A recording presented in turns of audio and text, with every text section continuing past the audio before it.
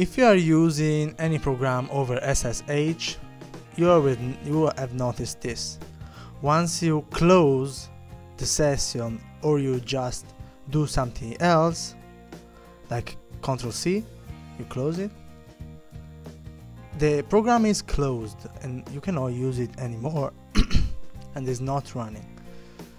So we can fix it with screen. On this server is not installed but you can you can install using apt get aptitude install screen. It will take a while. Just wait.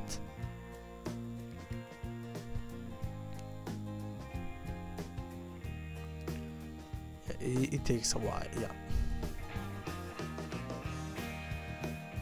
Yeah now it's done how it works. You just write screen and then you press space and you run again your program. And now when you do Ctrl A and Ctrl D you can go back. This is in the instruction. You can see that. For example now I went back and it is detached and if I do screen resume with R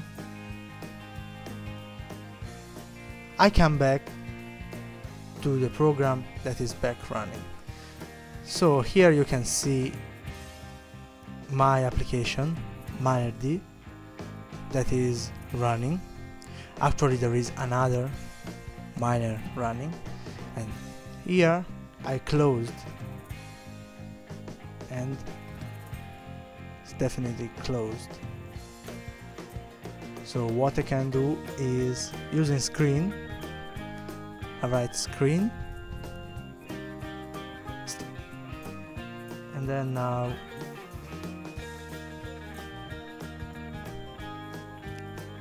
I can run my miner and then Control A, Control D. You see it's running.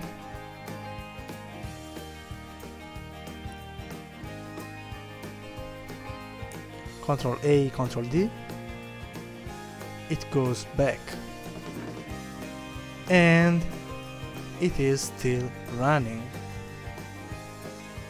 So this is a very useful application for your Linux Linux Linux server and that's it see you at the next video